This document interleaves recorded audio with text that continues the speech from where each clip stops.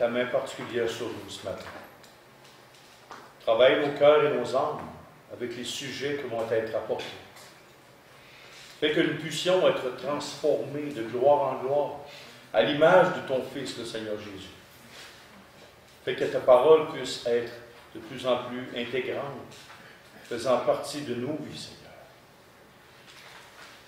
Mets ta main sur nous ce matin. Fais que ta parole pénètre nos âmes. Et c'est au nom de ton Fils qu'on. Amen. OK. Allons-y pour la prédication. Voici le cinquième commandement. Honore ton père et ta mère, afin que tes jours se prolongent dans le pays que l'Éternel, ton Dieu, te donne.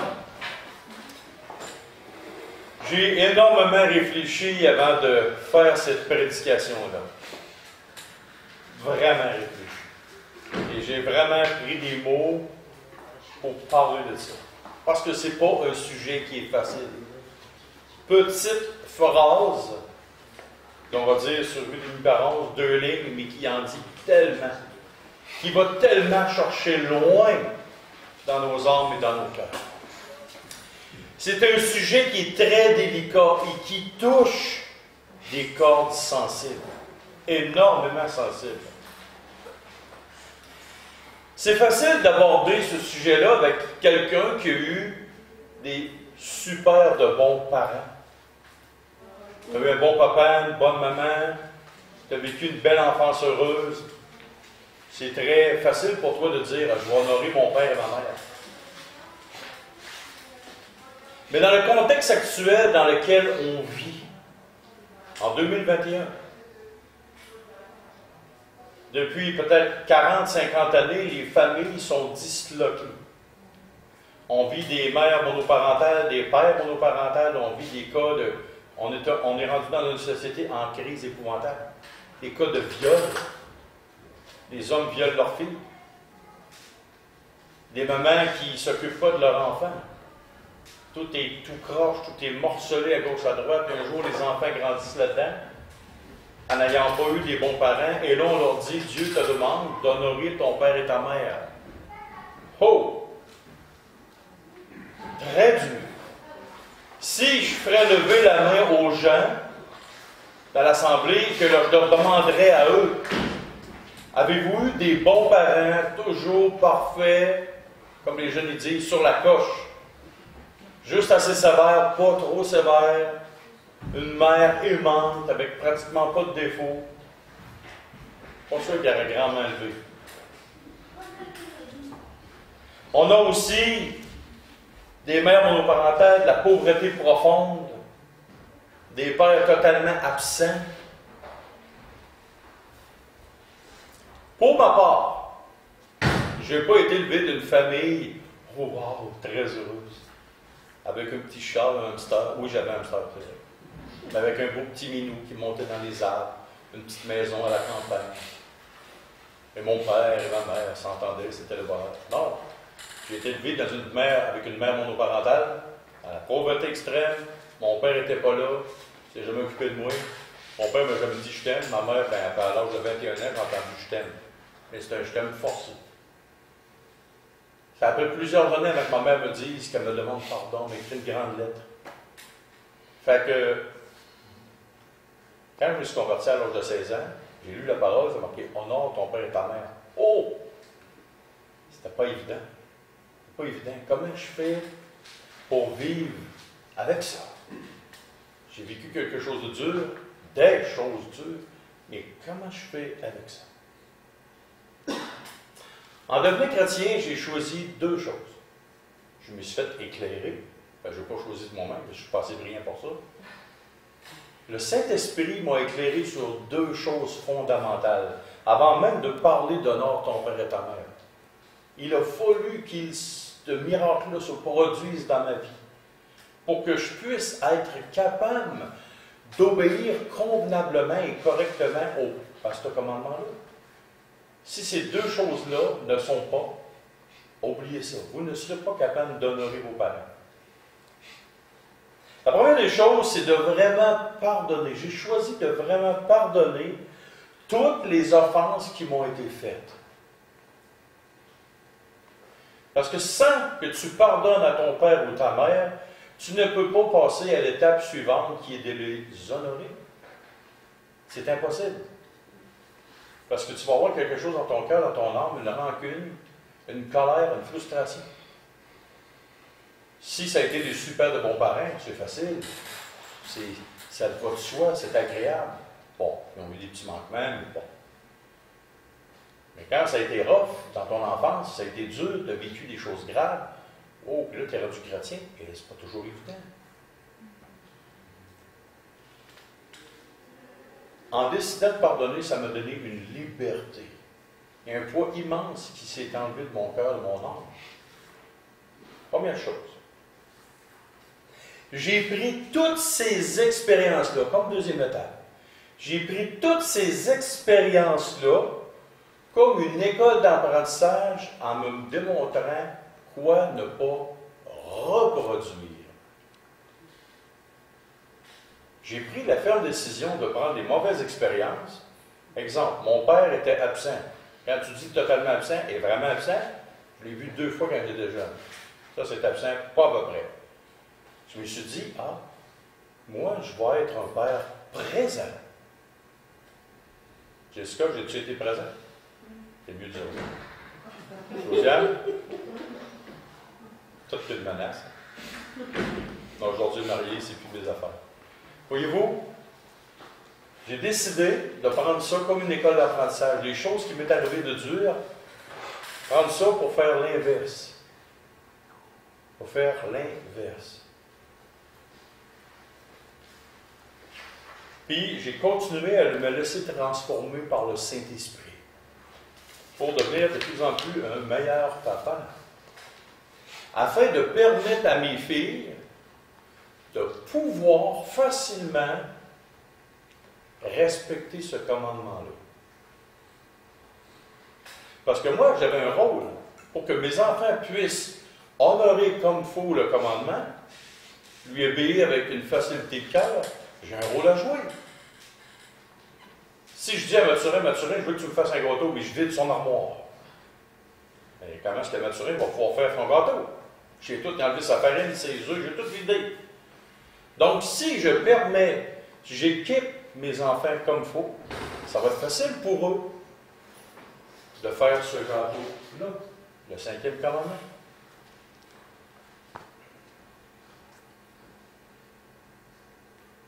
Ça me permet aussi de comprendre mon rôle profondément de parent, de ma façon de faire. Ça me, fait, ça m'a permis de réfléchir.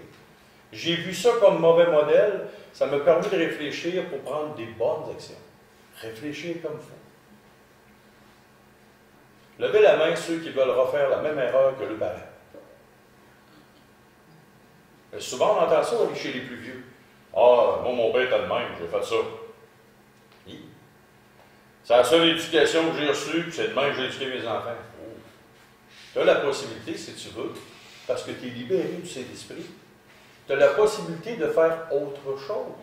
Tu as la possibilité de faire autrement les choses. Voyez-vous?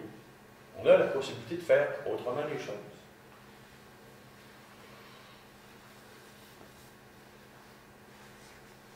Rappelons-nous ce texte dans 2 Corinthiens 5, 17 et 20. 5, 17 à 20. 2 Corinthiens, chapitre 5, verset 17 à 20. Si quelqu'un est en Christ, il est une nouvelle création. Les choses anciennes sont passées. Voici, toutes choses sont devenues nouvelles.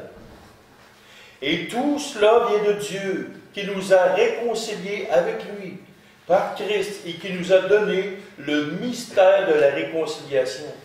Car Dieu était en Christ réconciliant le monde avec lui-même, en imputant point aux hommes leur offense. Et il a mis en nous la parole de la réconciliation.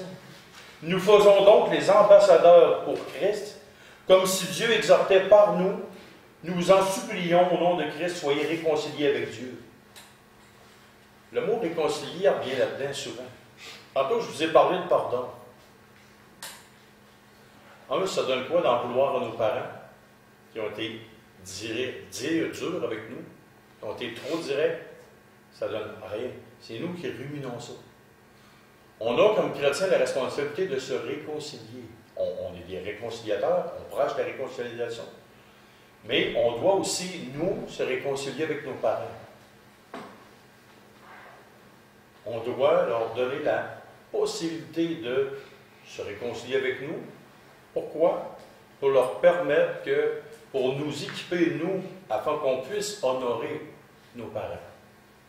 Voyez-vous?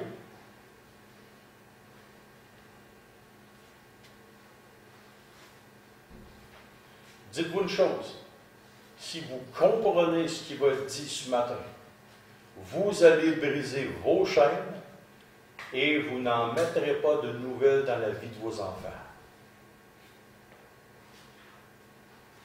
Vos parents, s'ils ont mal agi, vous ont mis des chaînes aux pieds, aux mains, à votre langue, à votre cou, à votre corps, à votre pensée. Ils vous ont introduit des choses qui n'auraient pas dû être. Mais si vous pardonnez, si vous réconciliez avec eux, vous allez briser des chaînes. Et je vous le dis, j'en ai fait l'expérience. J'ai un poids d'enlever dans ma vie. Et maintenant, aujourd'hui, j'ai proclamé la réconciliation. Ma mère est devenue chrétienne aussi. Ma mère est devenue chrétienne.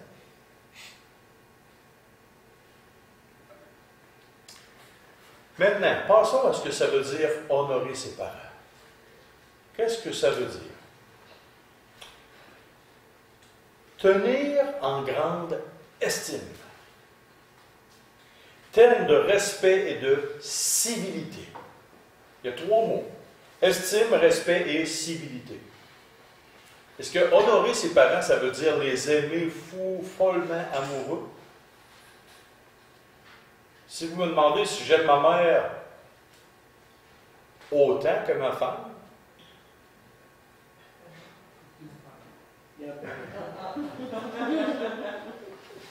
aimes-tu ta mère autant que ta femme? Ah, merci ma soeur. C'est pas le même amour. Une fois, je disais à mes filles, vous agacez quand elles étaient petites, tu veux-tu te marier avec ton père? Et un jour, ils ont fait, non. Quand elle était petite, oui. Là, je dis, on a un problème, je suis déjà marié avec ta mère, tu peux pas, je ne peux pas me marier deux fois. C'est pas le même amour. Mes enfants, même au bout, ce que je pense, ils me l'ont pas dit dernièrement, mais ils me même au bout. Voyez-vous? C'est ça, c'est que c'est pas la même amour. La Bible ne nous demande pas d'aimer nos parents d'une façon wow, comme ça. La Bible nous demande de les estimer, d'une grande estime, de les respecter et d'agir avec civilité. Parce que c'est ça que ça veut dire le mot honorer. Et tant mieux si vous les aimez beaucoup. Qu'est-ce que le mot estime veut dire? Opinion favorable qu'on a de quelqu'un fondée sur la connaissance de son mérite de ses bonnes qualités, de ses vertus. Oh! Donc, si on estime quelqu'un, c'est parce qu'on a connaissance de son mérite, de ses bonnes qualités, de ses vertus. On va parler du mérite. J'ai fait quelques petits calculs mathématiques pour vous. Le coût de vie pour un enfant de 0 à 21 ans. Ceux qui ont des, jeunes enfants, alors je ne sais pas, vous allez passer au travers, ceux qui ont des grands-enfants, ça va faire Ah, c'est pas ça, je encore pauvre. On va prendre juste la nourriture, le vêtement, le logement, les médicaments. Juste ça. 21 ans fois 52 semaines, 1092 semaines, fois 60 pièces de nourriture par semaine.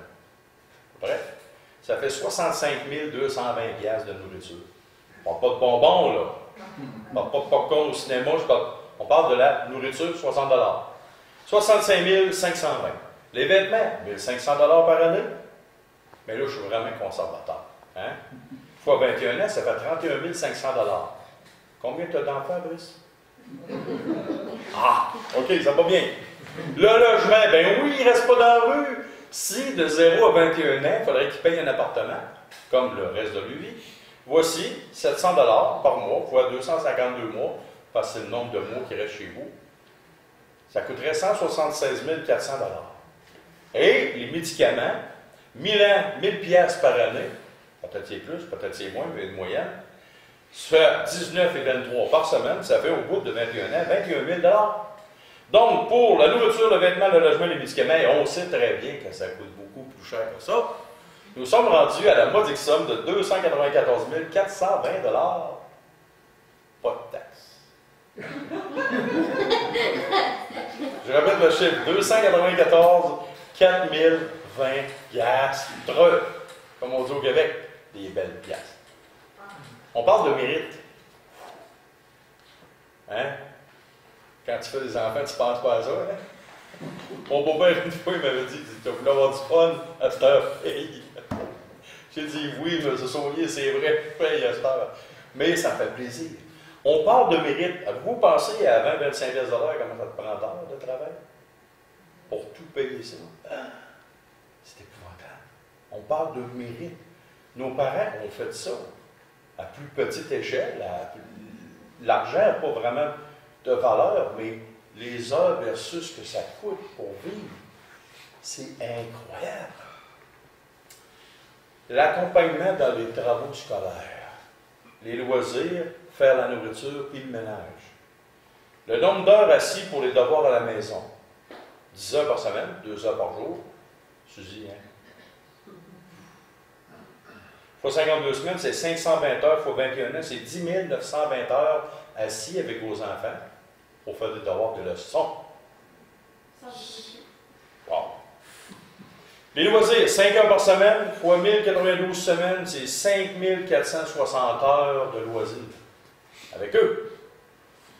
Temps pour faire à manger, 1,5 heures par jour fois 7665 jours, ça fait 11 497 heures pour faire à manger. Faire le ménage. Je veux même pas compter le nombre d'heures. Tu fais de quoi, les enfants? On dirait qu'ils ont l'heure et la manière cinq minutes après que tu aies fait le ménage. Tu t'as remis ça en l'envers. tu peux pas les étouffer, tu vas les tuer. Fait que tu ravales ta salive. Puis là, tu vois ça, c'est encore l'envers. On dirait qu'ils partent tout de suite après. Je sais pas pourquoi. C'est comme ça les heures les heures les heures. Pour les trois premiers sujets, là, 27 877 heures. Les devoirs, les loisirs, puis faire à manger. Il y a bien plus d'autres choses que ça. Pourquoi les parents font ça? Par amour sacrificiel, par abnégation, par bonté extrême, par engagement de cœur sans réserve. Donc, quand la parole dit d'avoir de grande estime envers nos parents, ben, c'est exactement ça qu'ils ont fait. Puis là, j'en passe, puis j'en parle. Vous savez, c'est juste des petits sujets très simples. Mais tout ce que nos parents ont fait pour nous, c'est ça. Et plus. Et beaucoup plus.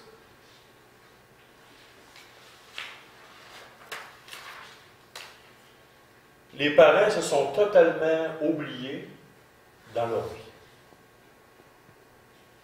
Pose la question, je vais fermer les yeux. Euh, toi, Baba, ça fait combien de temps que tu n'as pas eu de loisirs pour toi personnel? Vraiment une journée complète, là. Ta femme, tes enfants ne te demandent rien. Vraiment, tu es heureux, tu es bien, ça va bien. Hein? pas d'enfant. Avant que tu n'avais pas d'enfant? Ah! Ça recommence encore? Ah ben, c'est pas un bon exemple, tu as peu de Non, mais je pourrais faire ça à tous les parents dans la salle. Nous, mettons, en tant que parents, et nos parents ont mis leur vie sur pause, littéralement, pour nous, pendant X nombre d'années, par abnégation, par ça. Parlons maintenant des qualités de leur cœur et de leur vertu. Ces deux aspects-là, il y a quatre sujets pourquoi qu'on ne voit pas ça chez nos parents. Les qualités de leur cœur et leurs vertus. On ne voit pas ça chez nos parents pour quatre raisons. La première, notre égocentrisme. Qu'est-ce que c'est? Centré sur soi-même, qui se croit le centre de l'attention.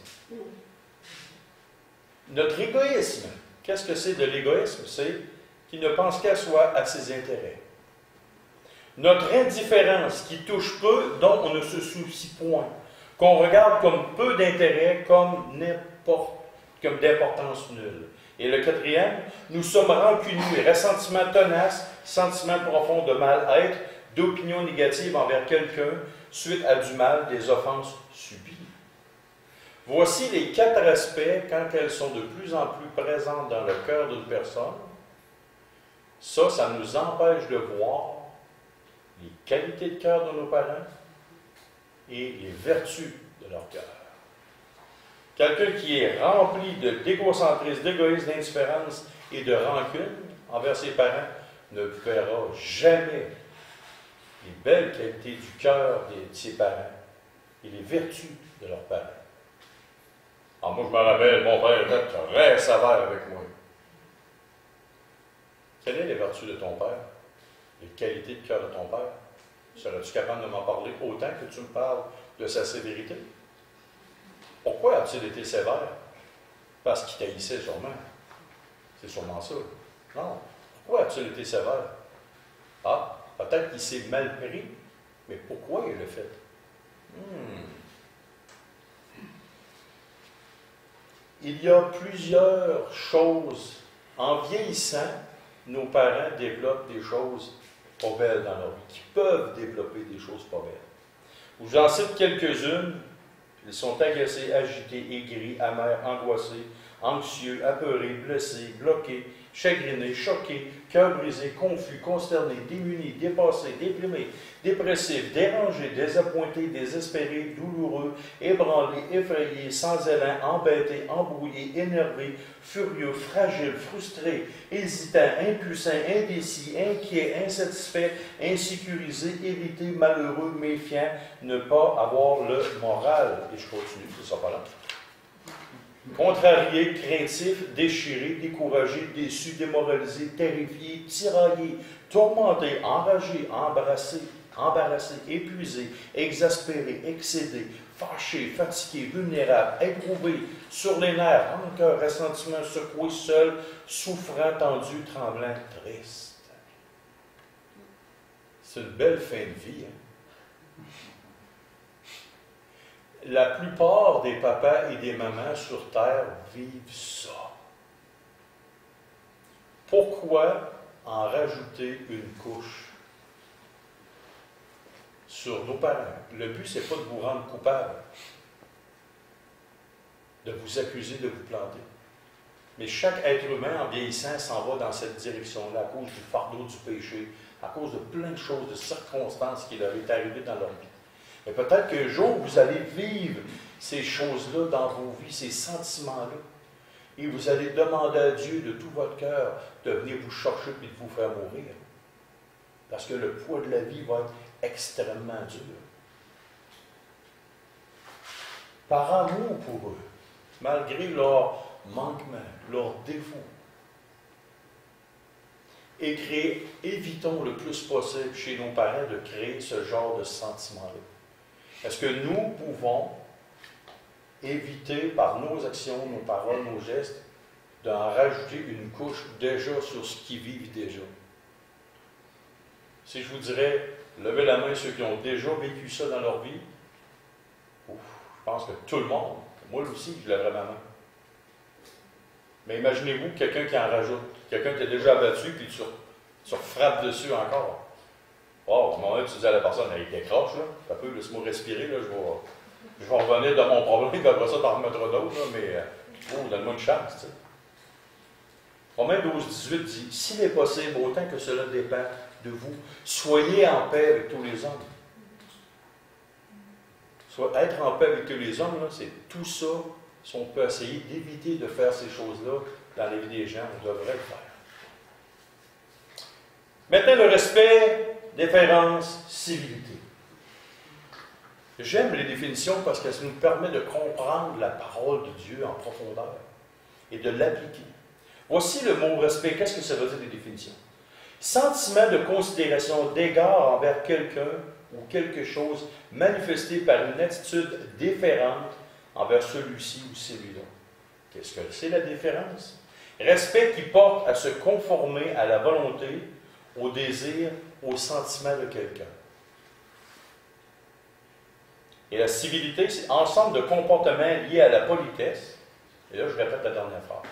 Ensemble de comportements liés à la politesse, manière courtoise ou polie de vivre et de converser, actions et paroles qui sont des témoignages de politesse. Respect, déférence et civilité, c'est trois choses qui sont indissociables. Vous manquez un, les deux autres sont brisés. Respect, déférence et civilité. Et ensemble de comportements liés à la politesse, manière courtoise ou polie de vivre et de converser.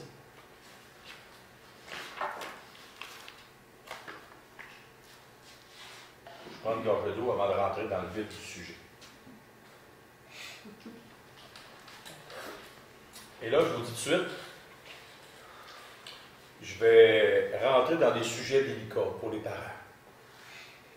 Délicats pour les parents. Peut-être pour plusieurs, vous n'êtes pas rendu à ce stade-là. Mais souvenez-vous de cette prédication-là quand vos enfants vont devenir adultes. J'ai eu à vivre ça dernièrement. Ma fille Jessica est devenue adulte, elle s'est mariée. J'ai été le premier à l'aimer, il y a un deuxième qui l'a aimé. On va. Oh! Ma fille Josiane est rendue adulte, elle travaille. Elle n'a même plus besoin de ton père et sa mère pour passer au crédit, elle s'est acheté une belle voiture. Oh, tu t'aperçois que tu es rendu à une autre étape de ta vie. Oh, papa et maman, là, on dirait qu'on ne sert plus à rien. On dirait qu'on a ce sentiment-là. C'est vrai, ça? On arrive à un stade un matin, on ne sert plus à rien. Quand l'enfant devient adulte, qu'il quitte le foyer et qu'il devient père, il y a des sujets qu'on doit apporter, qu'on doit aborder. Il y a des sujets très particuliers, très pointus. Sujet numéro un. Il y en a que pour certains ça va les toucher, d'autres que non. L'argent qu'on peut donner à ses parents. Oh. L'argent qu'on peut donner à ses parents. Contexte africain, contexte québécois, totalement différent. Est-ce qu'on est, d'accord? Oui. Hmm. Culture, qui n'est pas la nôtre. Pour certains, les enfants, aussitôt qu'ils travaillent, il faut que tu payes une pension. Pour d'autres, non, non, je ne chargerai jamais de pension. Je sais pas en Afrique si les enfants payent des pensions à leurs je sais d'autres choses. Comment est-ce qu'on devrait agir pour ça? Voici un Timothée 5.4. Si une veuve a des enfants ou des petits-enfants, qu'ils apprennent avant tout à exercer la piété envers leur propre famille et à rendre à leurs parents ce qu'ils ont reçu d'eux, car cela est agréable à Dieu. On parle d'argent. Est-ce que vous avez reçu seulement de vos parents de l'argent? Pour la plupart, non. Parce que vos parents ne vous donnez pas d'argent. Mais est-ce qu'on a reçu, qu'est-ce qu'on a reçu de, de, nos parents? À rendre à leurs parents ce qu'ils ont reçu d'eux. Bon, ben papa, tu m'as battu, je vais te battre quand tu vas être rendu. Pas ça ça veut dire. OK? On s'entend. On rend pas l'appareil du mal pour le mal. OK? Maman, tu étais trop sévère. Attends, mais tu rentres au foyer. Tu vas payer pour. On m'organiser que le monde soit sévère avec toi. C'est pas ça que je dis. Là. OK? Ne rendez pas le mal pour le mal, mais rendez le mal pour le bien. On a reçu des choses de la part de nos parents. Ils se sont donnés à 100, 200 000% pour nous. On a parlé un petit peu tantôt. Mais là, il y a des questions d'argent qui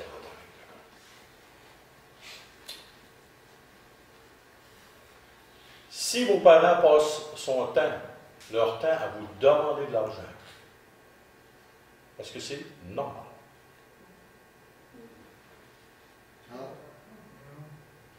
OK? On a entendu les Québécois là-bas. Si je me vais vers là, est-ce que c'est normal si vos parents vous demandent de l'argent de leur en donner? Oui? Non? OK. Voyez-vous, qu'est-ce qu'on fait avec ça? Deux cultures. Et je savais qu'en amenant ça, ça aurait brassé un peu. Si je pouvais ouvrir les portes des cœurs des gens, hmm, j'aurais des flamèches. Alors, comment est-ce qu'on fait avec ça? Qu'est-ce qu'on fait avec ça? 2 Corinthiens 12, 4 dit, 2 Corinthiens, 2 Corinthiens 12, 14 dit, Voici pour la troisième fois, je suis prêt à aller chez vous. Et je ne serai point à votre charge, car ce ne sont pas vos biens que je cherche, c'est vous-même. Ce n'est pas en effet aux enfants à amasser pour leurs parents, mais aux parents pour leurs enfants. Et il y a un autre texte, 2 Corinthiens 8, 13. Car il s'agit non de vous exposer à la détresse pour soulager les autres, mais de suivre une règle d'égalité dans la circonstance présente, votre superflu pourvoira à leurs besoins. On prend ça en l'envers. Votre superflu va pourvoir aux besoins dans une certaine circonstance de leur vie où ils en ont besoin. Mes enfants viennent me voir, papa, maman, écoute, on est vraiment mal pris, on a un problème. Ah, je vais vendre ma maison pour vous donner tout l'argent. Euh, est-ce que ça serait censé que je fasse ça? Non, ça n'aurait pas de sens. Ça n'aurait pas de sens. Mais je peux, OK, ben oui, j'ai ça. ce que j'ai, mon superflu, je peux vous le donner. Donner, ça ne me dérange pas. Je vais vous le donner. Les parents doivent comprendre une chose qu'ils ne doivent pas ambitionner sur leurs enfants, leur demander constamment. C'est aux parents à ramasser pour leurs enfants.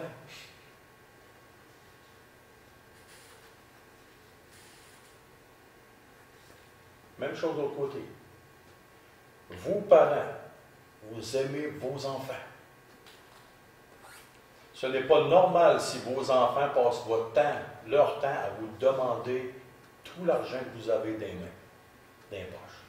On a vu ça dans le passé, des gens tellement peu scrupuleux, c'est qu'ils prennent, ils disaient à leurs parents, signe-moi ton chèque, puis moi je vais aller changer ton chèque, puis ils ramassaient l'argent de son père et sa mère, leur petite pension de vieillesse qu'il y avait. Ça, ça s'est vu dans le passé ici au Québec. Ça se voit Hein? Ça se voit encore. Ça se voit encore. Voyez-vous, si vos enfants font ça, qui sont rendus adultes et qui font ça, ce n'est pas normal, c'est de l'extorsion. Arrêtez ça tout de suite, allez voir la police. Et c'est quoi de l'extorsion? C'est obtenir par la force le chantage, l'intimidation ou tout autre moyen de pression un avoir financier. Par le mensonge, peu importe, par tout autre moyen de pression, c'est de prendre de l'argent comme de force à quelqu'un qui n'en a pas beaucoup. Ça, c'est de l'extorsion. Deuxième sujet. À quel âge un enfant doit-il arrêter d'obéir à son père et sa mère? Oh! Oh! Ma femme m'a regardé avec des petits yeux. Il y a des mamans aussi qui me regardent avec des grands yeux. Puis des papas qui me regardent aussi avec des grands yeux parce que là, ils attendent de voir quel âge que c'est.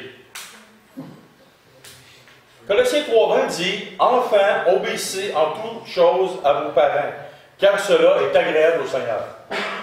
Donc, moi, j'ai 46 ans, j'ai des cheveux gris, des tempes grises.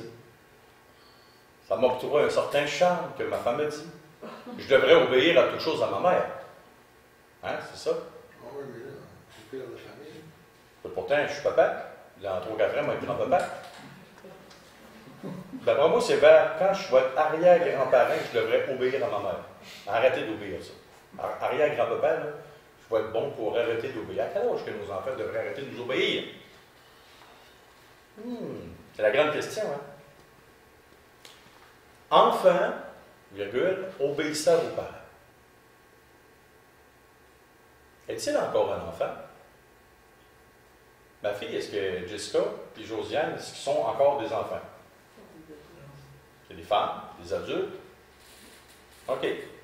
Avez-vous encore une responsabilité envers lui? Oh, j'ai une responsabilité envers ma fille Josiane. J'ai-tu une responsabilité envers Jessica, ma fille? Non. OK. Quand mon rôle se termine-t-il? Est-ce qu'il demeure encore chez nous?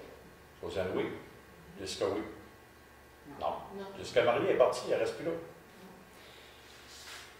Avez-vous un problème? Est-ce que nous avons un problème avec le contrôle absolu? Est-ce que nous, comme parents, on a un contrôle? Est-ce qu'on a un contrôle sur nos enfants? Et qu'on a encore un problème de contrôle quand ils sont encore partis chez vous? La maman de Jésus avait un problème avec le contrôle. On va le voir tantôt. C'est pas parce que c'est Marie, la mère de Christ, la mère physique de Christ, qu'elle n'avait pas de problème. Certains parents, c'est difficile, ça. Oui, peut-être peu. Voici quelque chose dans la parole de Dieu. Genèse 2, 24. C'est pourquoi l'homme quittera son père et sa mère, s'attachera à sa femme et ils deviendront une seule chair. Quand ça quitte la maison, il s'attache à sa femme ou son mari, ils deviennent une seule chair. Maintenant, ils sont une nouvelle famille. Luc 2, 51. Puis il descendit avec eux pour aller à Nazareth et il leur était soumis. Ça, c'est le Seigneur Jésus. Sa mère gardait toutes ces choses dans son cœur. Et un petit peu plus tard, dans Jean 2, 1 à 5, trois jours après, il y eut des noces à Cana, en Galilée. La mère de Jésus était là. Et Jésus fut aussi invité aux noces avec ses disciples. Le vin ayant manqué, la mère de Jésus lui dit Ils n'ont plus de vin. Jésus lui répondit Maman, s'il vous plaît. Il lui dit Femme, qu'y a-t-il entre toi et moi Oh Je me verrais dire à ma mère J'appelle encore ma mère, maman. Si j'arriverais chez nous, James, faut que tu fasses telle affaire. Femme, qu'y a-t-il entre toi et moi Oh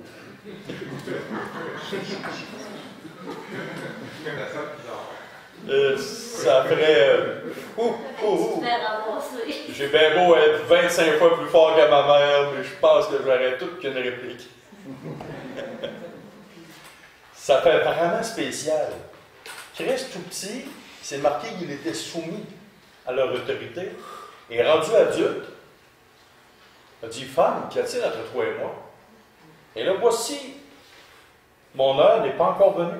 Sa mère dit au serviteur Faites tout ce qu'il vous dira. Oh Là, il y a eu une transition dans le cœur de Marie.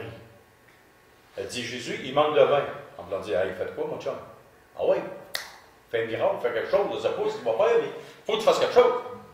Jésus a dit Wow Et bien, stop. Donc, même Marie avait un petit problème de contrôle. Elle a dit Faites quoi? Jésus a dit Oh, oh, oh, fini là. On arrête ça. C'est qu'est-ce qu'il y a entre toi moi? Écoute, n'oublie pas, je suis le Fils de Dieu. Le prophète qui devenait dans le monde. Puis Marie, là, t'es pas folle, hein, elle savait toutes ces choses-là. Écoute, quand tu as une discussion avec un ange, d'après moi, tu t'en souviens qu'il y a quelque chose dans ton ventre, que, oh, oh, c'est très grand ce qui est là. Puis tu l'as vu grandir, tu as vu tous tes autres enfants grandir, tout tout croche, tu vois ton petit parfait, il fait rien. Il y a quelque chose qui se passe, là. tu l'as vu grandir, l'excellence même de l'enfant, il est là. À un moment donné, tu comprends que ça ne marche plus. Là. Tu ne devrais plus donner bien ben d'ordre. Mais Jésus est obligé de lui dire Wow, arrête. Voici trois trucs infaillibles pour savoir si vous devriez arrêter d'avoir de l'emprise sur vos enfants.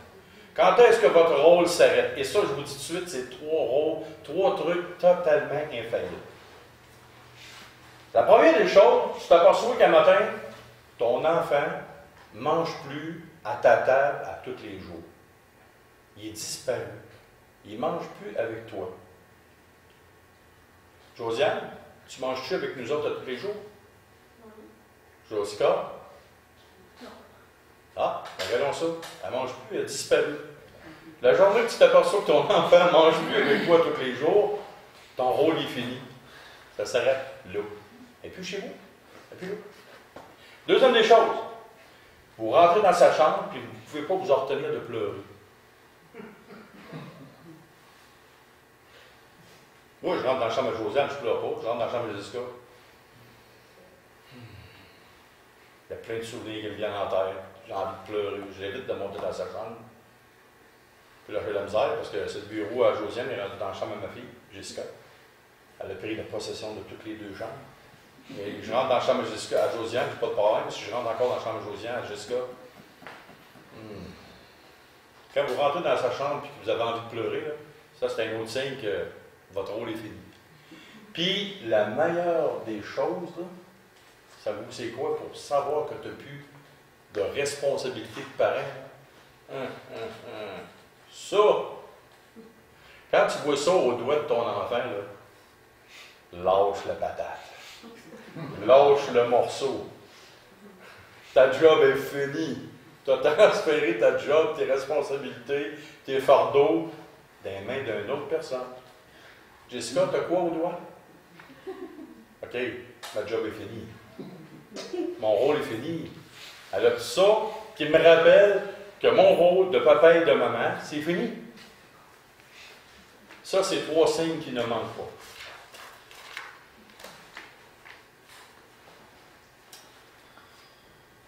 En terminant, il y a des principes de la plus haute importance qui se trouvent dans la parole de Dieu. Proverbe 30, 17. L'œil qui se moque d'un père et qui dédaigne l'obéissance envers une mère, les corbeaux du torrent le perceront, les petits de l'aigle le mangeront. Autrement dit, en bon québécois français francophone du nord de l'Amérique, si tu te moques de ta mère, de ton père, tu ne respectes pas, les petits de l'aigle vont te manger et les corbeaux du torrent, du torrent vont venir te percer. Ça veut dire que ça va te coûter quelque chose. Tu vas vivre des conséquences. Éphésiens 6,4 Et vous, pères, n'irritez pas vos enfants, mais élevez-les en les corrigeant et en les instruisant selon le Seigneur. Quand vous corrigez une faute d'orthographe sur une feuille, frappez-vous dessus avec un poing, puis avec un pied, puis avec une claque? Non, corriger, ça ne veut pas dire frapper, ça veut dire rectifier. Il y a des fois qu'on n'a pas le choix, hein? on ne veut pas se rendre là, mais tape ses fesses. Personne n'est mort de ça, mais ça prend ça, une correction. Mais ce n'est pas à tous les fois une correction physique. C'est comme le dernier moyen qu'on devrait prendre. Mais c'est marqué ici.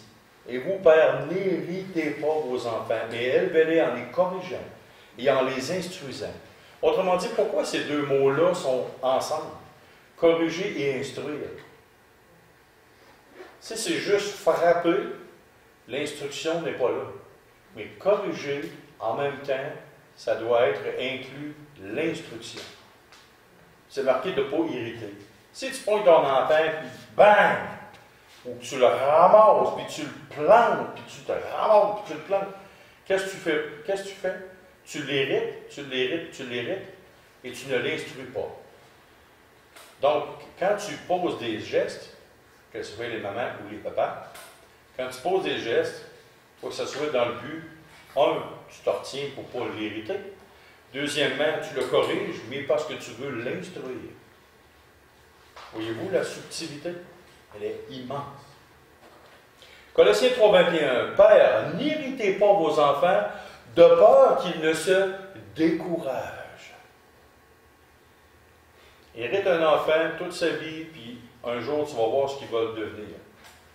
Ce que tu veux qu'il soit, tu vas l'enfoncer de plus en plus dans le contraire. Parce que tu vas avoir hérité tes enfants, hérité tes enfants, hérité. Et au final, tu n'auras pas quelque chose de beau comme résultat. Si j'étais tout le temps en train de dire à mes deux filles, t'es pas bonne, t'es pas belle, t'es pas ci, t'es pas comme ça, t'es comme ci, t'es comme ça, qu'est-ce qui se produit au final dans le cœur de l'enfant? Je l'hérite, je l'hérite, je l'hérite, je l'hérite. Et au final, ce que j'aimerais qu'il soit ne sera jamais au rendez-vous. C'est tout simplement un calcul très clair. Et dans les passages, Galates 6, 7 à 10, ne vous y trompez pas, on ne se moque pas de Dieu. Ce qu'un homme aura semé, il le moissonnera aussi. Celui qui sème pour sa chair moissonnera de la chair de la corruption. Mais celui qui sème pour l'esprit moissonnera de l'esprit la vie éternelle. Ne nous lassons pas de faire le bien. Quand on, s'occupe de nos enfants, ou que on s'occupe de nos parents, ne lassons pas, ne nous lassons pas de faire le bien. On récolte toujours ce qu'on sème, tout le temps, tout le temps, tout le temps.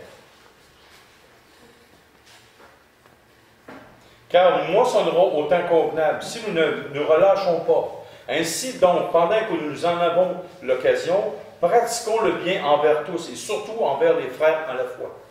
Envers tous, que vos parents soient chrétiens ou pas, qu'est-ce qu'on doit chercher? À les honorer, à leur faire du bien. Pas juste des questions financières, je te donne un montant, puis débarrasse, puis leur faire m'occuper de toi. Une dernière chose, on voit dans les centres de personnes âgées. Qui travaille dans les centres de personnes âgées ici? Voyez-vous des personnes adultes, âgées, que les enfants ne les visitent pas? La première remarque qu'on voit, qu'on entend, c'est Ah, les enfants sont tellement égoïstes, ils ne pensent pas à leurs parents. Ou d'autres personnes âgées qui disent Hein, moi j'ai eu 12, 15, 20 millions d'enfants, il n'y en a pas un qui vient voir. Moi je leur dirais Pose-toi donc une question pourquoi ils ne viennent pas te voir Parce qu'on récolte toujours ce qu'on sème. Est-ce que les filles, vous allez venir me voir avec maman au foyer? Allez-vous venir me voir quand je vais être vieux? Jessica? Josiane? C'est enregistré, au début de dire oui, parce que plus tard, tu vas savoir. Voyez-vous, on rit bien, mais les personnes âgées qui sont seules, complètement seules, sur 16, 17 enfants sont tous sans cœur, qui n'ont pas de cœur, pas d'âme, pas de compassion sur aucun, aucun, aucun dans ceux-là ont de l'amour et de la, gentillesse, tout ça. Pourquoi ils sont tous abandonnés de leurs enfants? Peut-être parce qu'on récolte toujours ce qu'on sème. Peut-être. Posons-nous la question, ce n'est pas nécessairement toujours de la faute des enfants. Moi, j'en connais des hommes présentement que je sais qu'au fait de vieux, personne ne va venir les voir. Pourquoi? Que dès à présent, je sais ça. Aussi bizarre, moi, ma grand-mère, tous les enfants, sans exception, à tous les jours, elle avait de la visite. Ils s'échangeaient à tour de route et allaient les voir. Monsieur, Madame Lacasse, vos enfants, est-ce qu'ils vous appellent souvent? Récoltez-vous ce que vous avez semé? Ah, c'est donc ça. C'est une coïncidence, ça marche, mon affaire. Gilbert, ton fils, viens-tu te voir? Il reste loin, mais il vient, il vient dans la Vos enfants restent où, monsieur, madame Lacasse? Ils sont loin. Ils sont très loin aux États-Unis, puis dans le fond du Canada. Ils sont loin, c'est difficile de les voir. C'est difficile de les voir, oui, c'est normal. Mais est-ce qu'ils vous appellent? Ah, oui, ouais. Mathurin, t'appelles-tu ta mère et ton père? Ah, souvent? Ils récoltent ce qu'ils ont semé. Hein? Voyez-vous, c'est pas toujours la faute des enfants. Mais si tes parents avaient été très méchants avec toi, Mathurin, t'aurais-tu tendance à les appeler? Je pense pas. Tu veux vraiment honnête, là? Voyez-vous, honore ton père et ta mère. C'est, je suis très conscient que la prédication d'aujourd'hui touche, effleure juste un petit peu le sujet. Et c'est dur dans une prédication de 45-50 minutes de vraiment rentrer en profondeur de tous les détails de ce que ça implique, de ce que ça pas. Je pourrais prêcher 4-5 dimanches là-dessus, mais je ne pense pas qu'on va le faire. Même je suis sûr qu'on ne le fera pas. Mais si vous avez besoin de me parler, d'avoir d'autres informations sur des sujets très précis, ben, je suis ouvert à, à vous rencontrer. Je n'ai pas de trouble avec ça. Voir des sujets, quoi faire, comment pas faire des choses. Euh, tu sais, dire, vous êtes mêlé, bon, comment est-ce que je devrais agir, c'est jusqu'où je devrais aller. Tu sais, il y a des sujets là-dedans que je n'ai pas touché pantoute, ou peut-être qu'il y a des sujets que j'ai touchés, mais que les gens aimeraient avoir plus d'informations. Et ça, je suis très conscient de ça. Et euh, petit bout de phrase, ça implique énormément de choses. Alors, sur ce, si on peut retenir une chose de cette prédication-là, on récolte toujours ce qu'on nous sème. Si on sème quelque chose dans la vie de nos enfants, de négatif, de mal, il ne faut pas s'attendre à ce que les gens, nos enfants, puissent faire ça. Autrement dit, on ne les aura pas équipés pour faire ça facilement. Mais si on les a équipés facilement, en faisant plein de bonnes choses, de belles choses, à ce moment-là, nos enfants vont pouvoir pratiquer ce commandement-là. Et nous, si on a eu des parents qui ont été très raides avec nous, ou des situations très difficiles, rappelez-vous, pardon, réconciliation, et d'essayer le plus possible de leur faire du bien.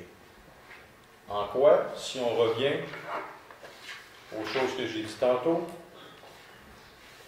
de l'estime, du respect et de la civilité? Ça, c'est du secret. Tu n'es pas obligé d'être en amour fou, passionné avec ton père ou ta mère, parce qu'il y a eu des contextes très durs, mais quand même, pour honorer Dieu, on doit à nos parents estime, respect, civilité. Mon père n'a jamais été là les premières 21, les premières 21 années de ma vie, n'a pas été là. Mais je lui dois quand même respect, civilité, et quoi j'ai dit tantôt? Estime. Comment estimer un homme qui n'a jamais été? La parole de Dieu transforme. Prions. Seigneur Dieu Père, merci pour ta grâce. Merci pour ton pardon envers Transforme nos cœurs, Seigneur. Transforme nos conditions. Transforme tout ce qui n'est pas de ta parole. Tu sais, Père, tout notre passé. Tu sais les moindres détails de notre vie. Et la seule chose que nous pouvons demander, c'est de te ressembler de plus en plus. Ressembler à ton Fils qui est venu sur terre.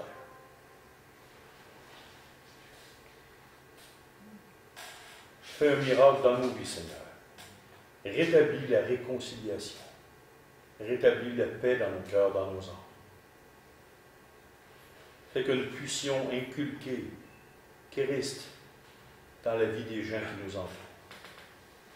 Et c'est ton nom de ton Fils Jésus qu'on prie. Simplement. Amen.